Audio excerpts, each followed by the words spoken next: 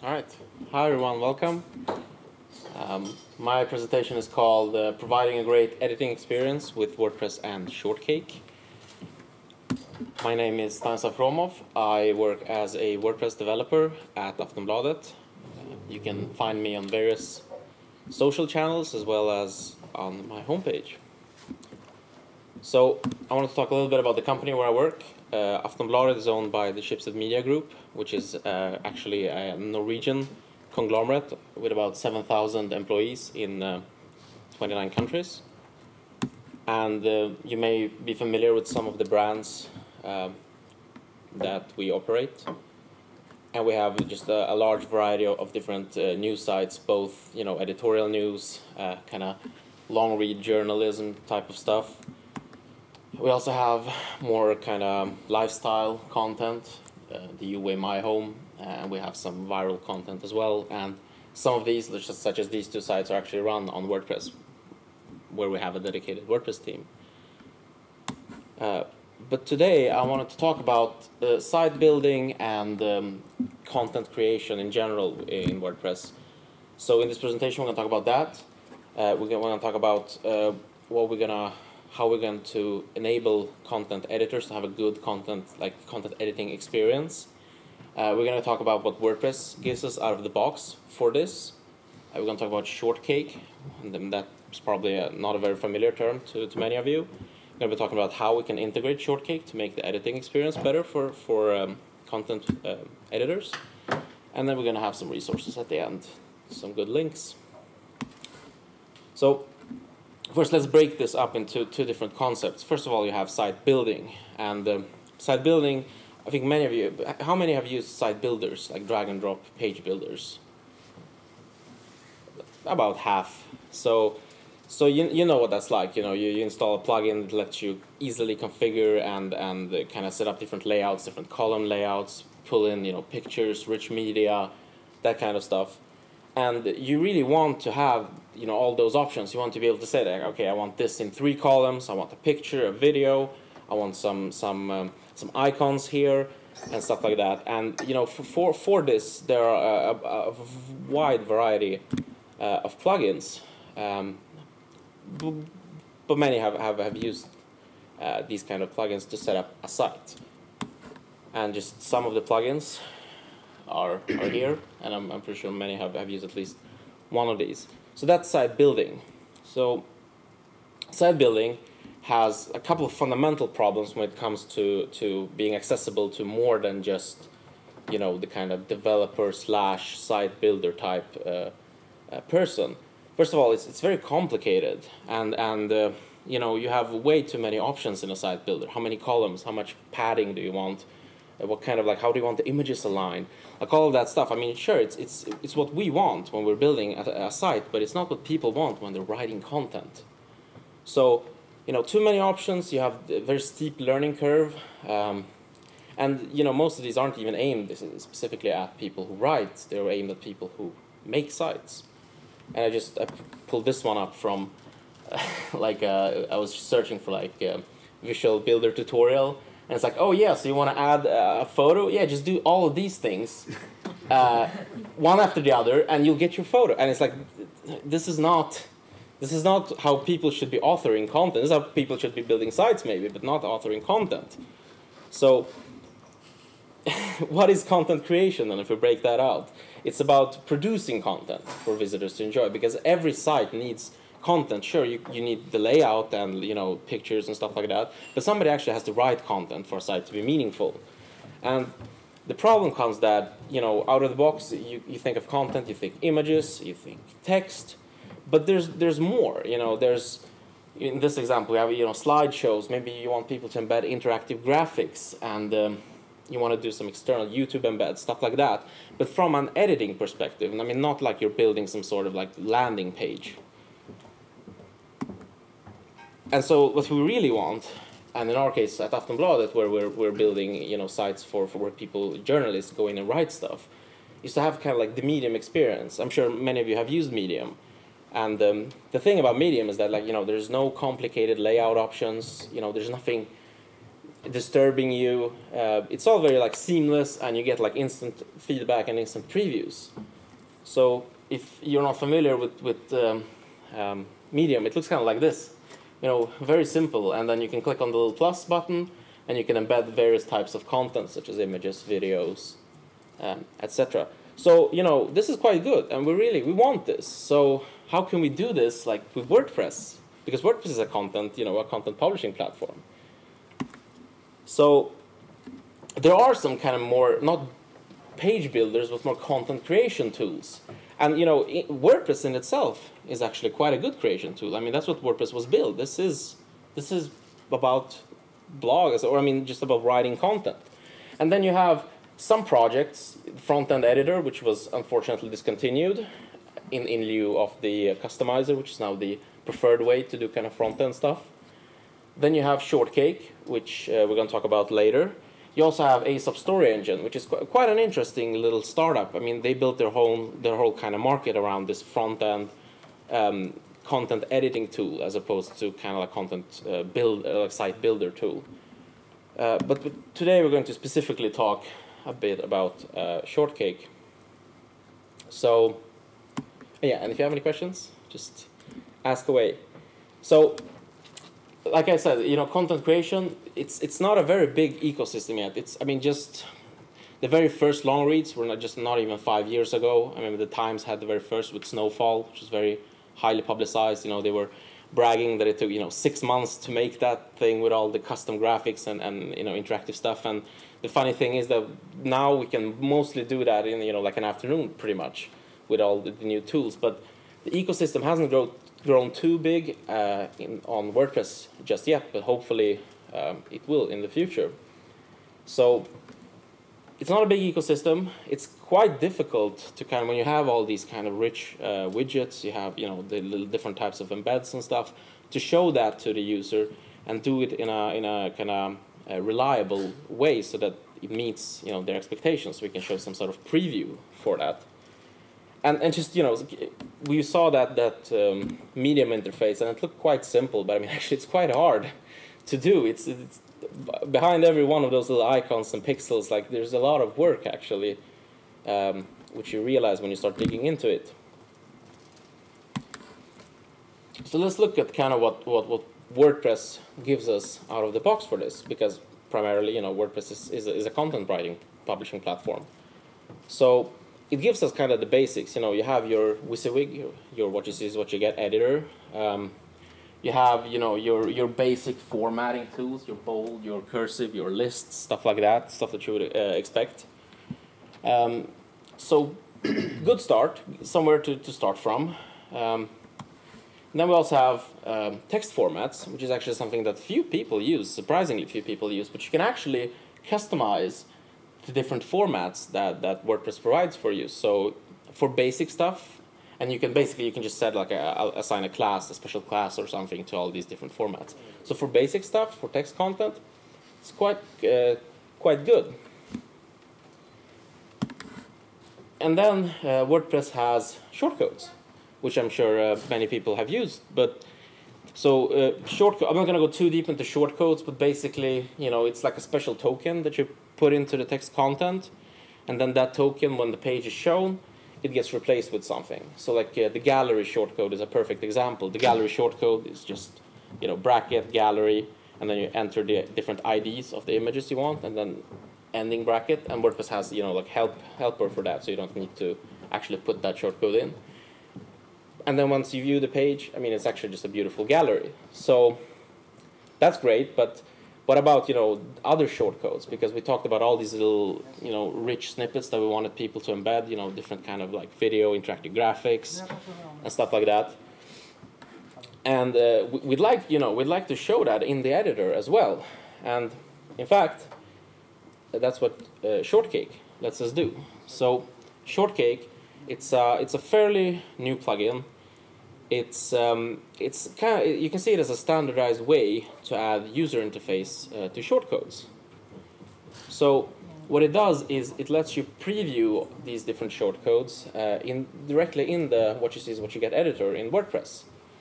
Uh, it has pretty solid fundamentals. It's it's built by uh, it's built on Backbone, which is uh, actually the same backend framework that most of the WordPress admin is is uh, using right now. They're porting more and more over to Backbone, and I think actually there's not going to be very much PHP left in the, in the in the backend as it looks right now. Um, it has its own fields suite, so we can provide you know different kind of form fields for all these different um, to, sh to show, uh, which I'm gonna demonstrate.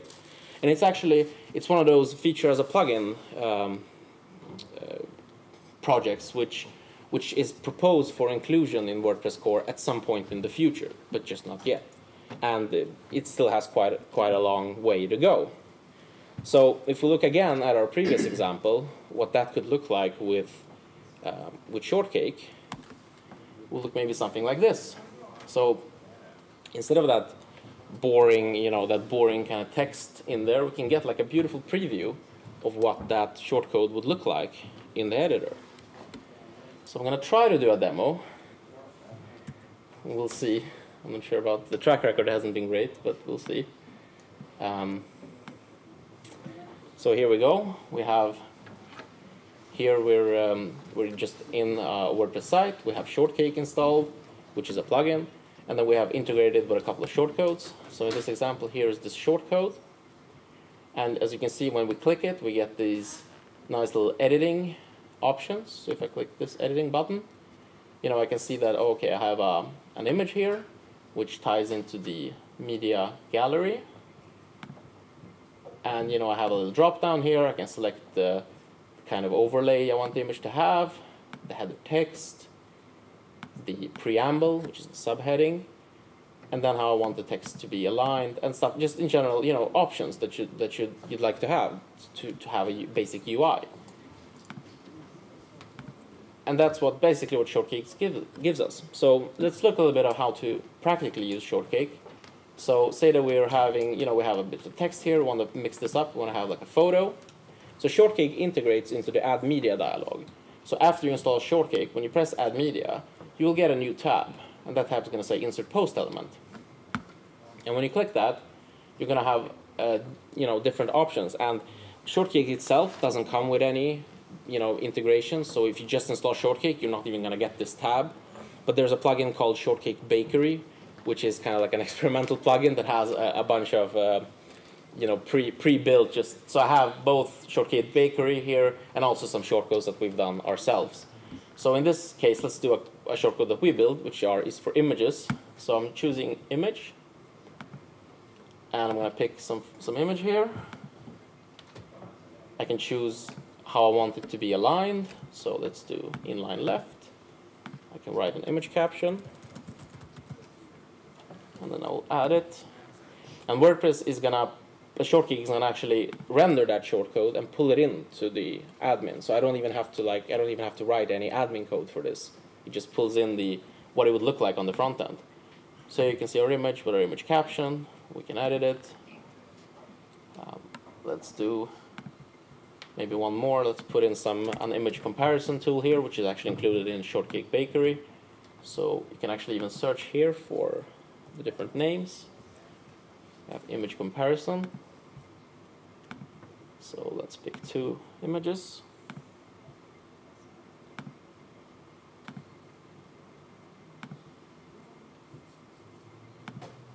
Insert that. As you can see, even though we can't use the tool here, oh yeah, actually we can. We can even do it like this. So you can have that. And, and this was basically just a few rows of code, which I'm going to show you shortly. So it's very easy to integrate. Um, yes, that's what I had for this demo. Let's try to get back.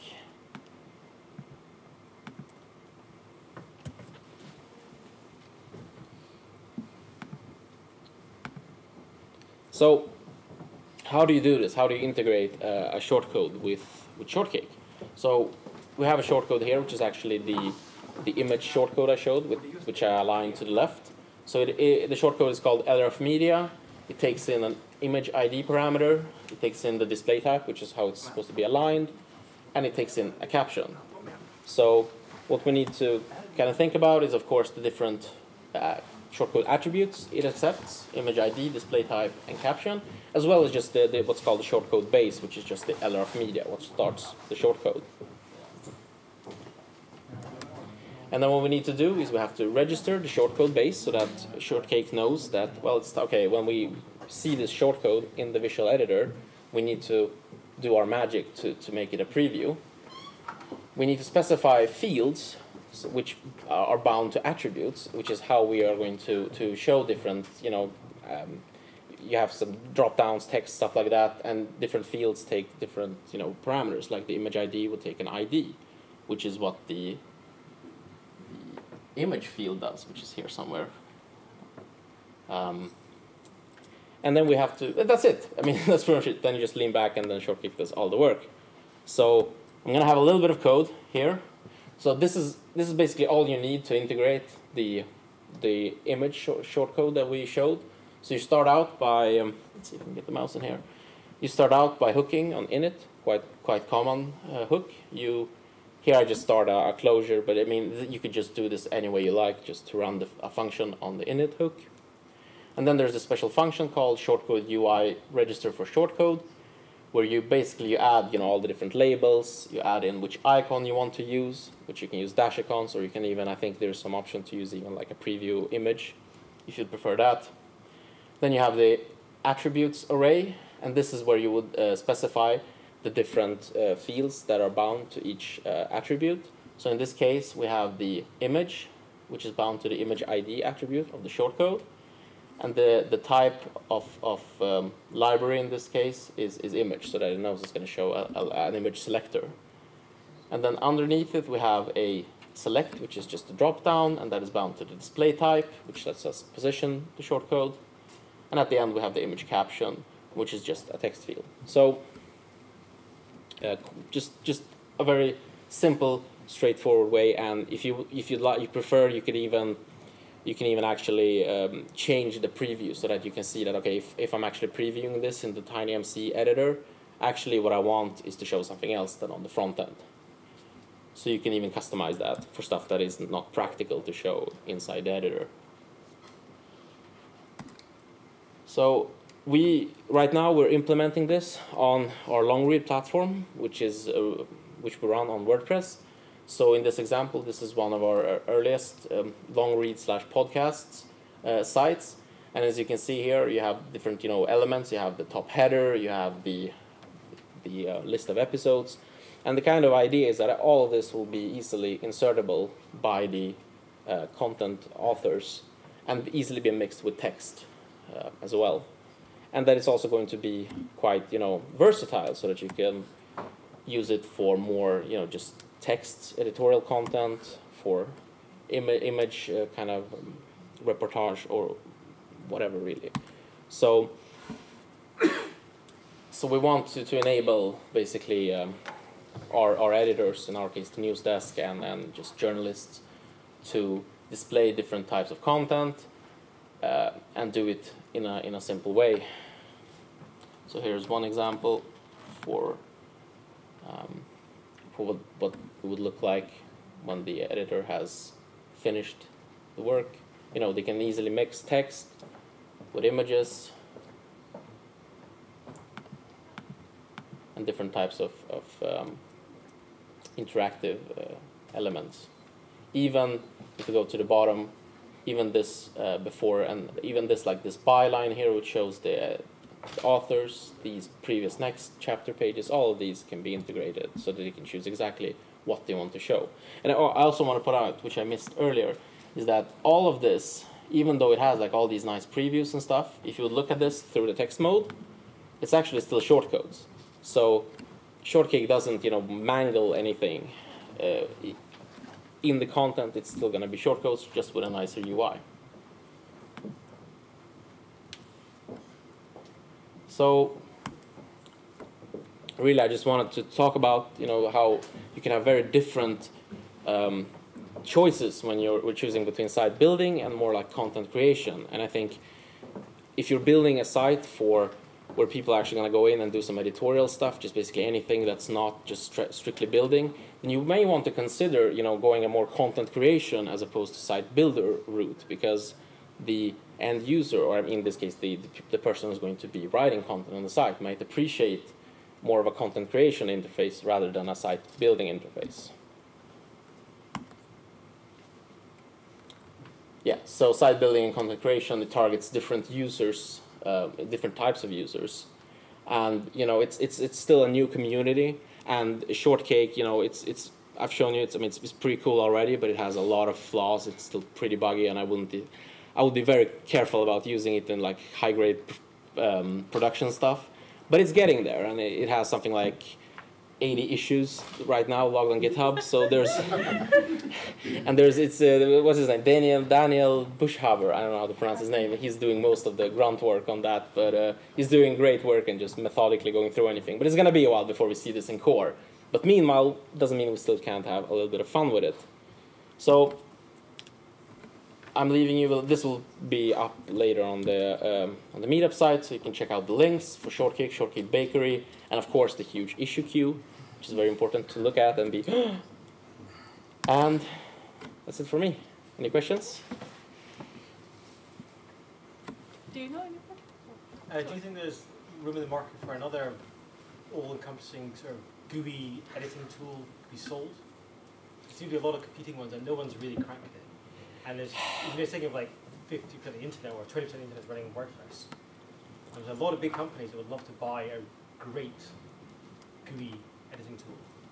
I think I don't I don't know. I mean, because you saw the the, the, the slide with the different builders. I mean, there's so many of them, and this, the frightening thing is so many of them are good.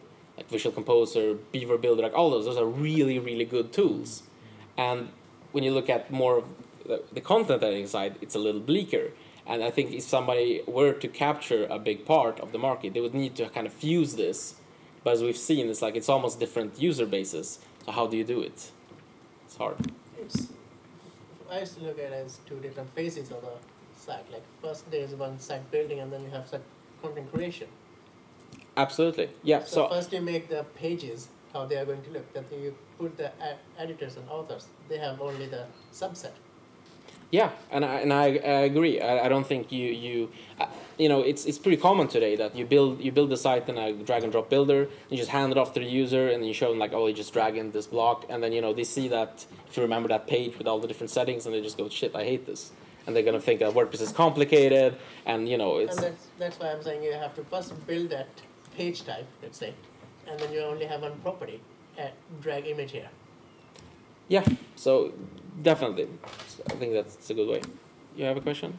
Uh, I just wanted to ask if you know any of Swedish uh, agencies who are experimenting with this Shortcake. It looks like. I haven't seen a lot of it. I mean, it's still very new, and I, I I'm surprised actually because it's been around in the different Facebook groups multiple times. So I've kind of caught it from caught it from there, but I haven't. Like I said, it's very early still. I like it's alpha, no, barely. It's so buggy. Like even like it's just an example, and this is quite scary. If you put a bracket in one of the text fields, it just breaks the shortcode. that's that's the level we're at. So I, I, intentionally did not put any brackets in those shortcodes. Um, but I mean that's stuff that's gonna get fixed, and the whole idea is very sound. So hopefully, as this gains more traction, more people are gonna use it. But I don't know of any agencies that uh, use it right now. All right. Thank you.